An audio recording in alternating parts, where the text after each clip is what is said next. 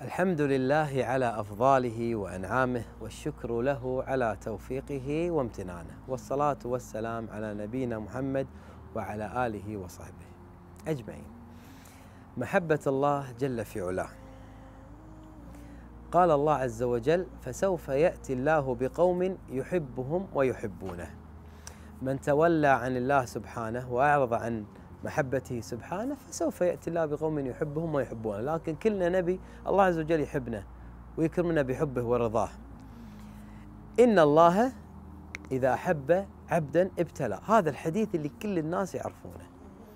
إنزين يبتليه فقط ولا يصبر كذلك على هذا البلاء ويرضيه فمن رضي فله الرضا لك من الله الرضا والمحبة ومن سخط فعليه السخط.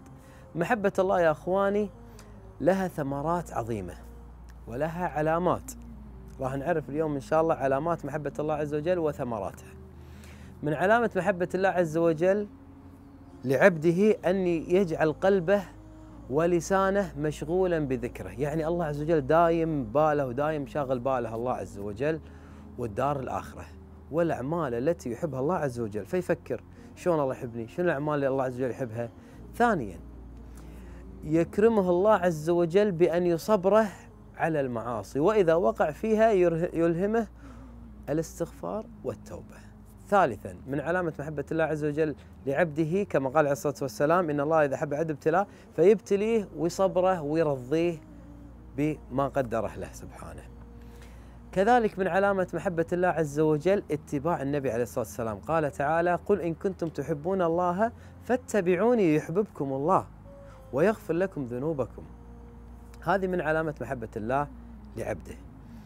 وقد قيل أن رصيدك من محبة الله تعالى على قدر رصيدك من ذكره.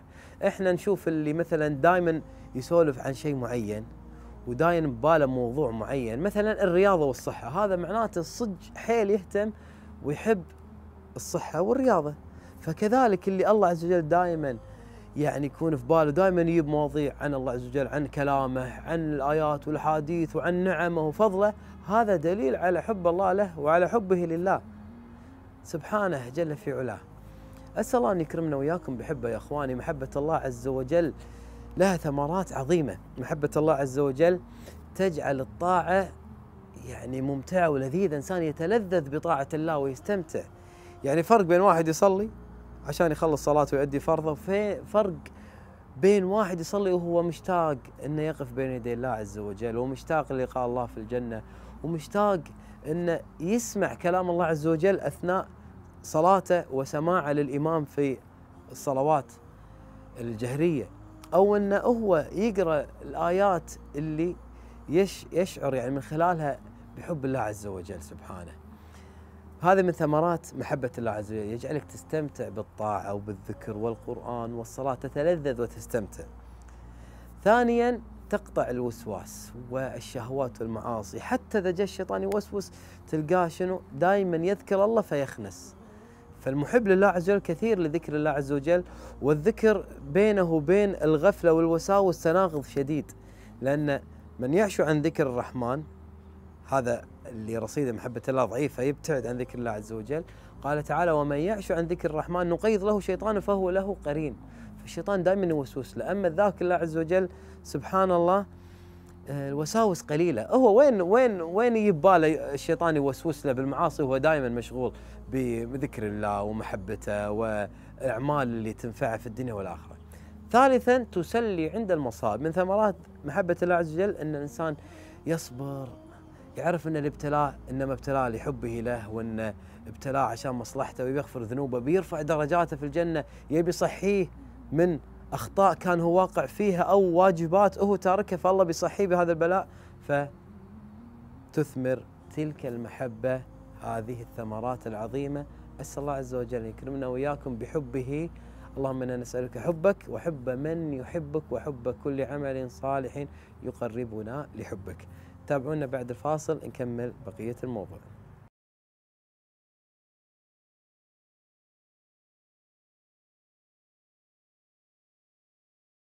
السلام عليكم شباب. عليكم السلام. شلونكم حبايبي؟ الحمد لله. الله يسعدكم يا رب. اليوم أحلى موضوع عن محبة الله عز وجل. تخيل معاي هذا الموقف العظيم اللي صار لك أو راح يصير لك إن شاء الله. يا رب يصير حق جميع يا رب. الموقف هذا الله عز وجل سبحانه يكلم جبريل ينادي جبريل يقول له يا جبريل إني أحب فلان باسمه. تخيل الله عز وجل يناديك ينادي جبريل عليه السلام علشانك. إني أحب فلان عبد الله محمد حسين خالد اللي هو. فأحبه الله يأمر جبريل إنه يحبك. لأن لازم نحب اللي الله يحبهم. فإحنا شو نقول بالدعاء؟ اللهم إني أسألك حبك وحب من يحبك وحب كل عمل صالح يقربنا إلى حبك. اللهم اجعل حبك أحب إلينا من أنفسنا وأهلينا ومن الماء البارد على الظمأ. دعاء مهم وعظيم جدا. إذا استجاب الله هذه الدعوة كنت من أسعد الناس في الدنيا والآخرة.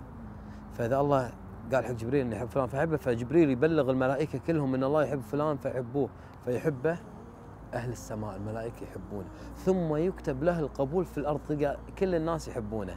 الناس الصالحين والزينين. الطالحين مو لازم يحبون لأن ما حتى الأنبياء في لهم أعداء. فالناس الصالحين إذا يحبونك كلهم راح يحبونك. إذا كان شنو؟ الله عز وجل يحبك. والنبي عليه الصلاة والسلام خبرنا اللهم صل وسلم عليه قال آه، ما تقرب حديث قدسي قال الله تعالى ما تقرب إلي عبدي بشيء أحب إلي. شنو أكثر شيء الله يحب إنك تقرب إليه فيه؟ اللي هو شنو؟ الفرائض. ما تقرب إلي عبدي بشيء أحب إلي مما افترضته عليه ولا يزال عبدي يتقرب إلي بالنوافل حتى أحبه. يعني غير الفريضة اللي عليك تتقرب لله بالأمور المستحبة والنوافل. الله جل في علا أسمع ماذا يقول الله العظيم في الحديث القدسي. فإذا أحببته كنت سمعه الذي يسمع به. فسمعك راح يصير شنو؟ مسخر كله في سبيل الله. ما تسمع ما تسمع إلا اللي يرضي الله وينفعك. وبصره الذي يبصر به ويده التي يبطش بها ورجله التي يمشي بها. ولئن سألني لأعطينه ولئن استعاذني لأعيذنه. تخيل أي شيء تطلبه من الله يستجيب لك ويعطيك. ولئن استعاذني تستعيذ بالله من شر. شياطين الجن الانس شر المعاصي شر أي شر. شر لسان شر الأمراض. لا اعيذنه وعد من الله عز وجل. إنه إذا حبك يستجيب لك. والله عز وجل ذكر أن في ناس يحبهم ويحبونه فسوف يأتي الله بقوم يحبهم ويحبونه وفي ناس يحبون الله أكثر من غيرهم قال تعالى والذين آمنوا أشد حبا لله لازم أنت تكون أحب إلى الله من غيرك حاول تقول ما بيسبقني إلى الله أحد أبي اكون أنا أكثر واحد الله يحبني عشان شيء الصحابي سأل سأل النبي عليه الصلاة والسلام منو أحب الناس إلى الله؟ من أحب الناس إلى الله؟ فقال له شنو؟ أحب الناس إلى الله أنفعهم للناس. شوف انت إيش كثر تنفع الناس تعلمهم تهديهم تساعدهم ماديا تعاونهم معنويا. هني رصيدك راح يكون من محبة الله لك على قد رصيدك من نفع الناس ونفع عباد الله. ورصيدك كذلك من محبة الله على قد رصيدك من ذكره. والقرآن الكريم كذلك. إذا كنت مقبل عليه بكثرة هذا دليل أن الله يحبك. إذا وفقك أنك تقرأ كلامه وتفهمه وتطبقه وتعلمه هني راح تكون من أكثر الناس اللي الله يحبهم بل أنت راح تكون من أهل الله وخاصته هم أهل القرآن. واضح؟ قولوا اللهم إنا نسألك حبك وحب من يحبك وحب كل عمل صالح يقربنا إلى حبك. حب كل عمل صالح يقربنا إلى حب سؤال في القبر ويوم القيامة في المحشر إذا الله حبك هل بيعذبك والله ولا حتى لحظة بل سيحاسبك حساب يسير ويدخلك الجنة ويجعلك في القبر عايش في نعيم حياة البرزخ في نعيم.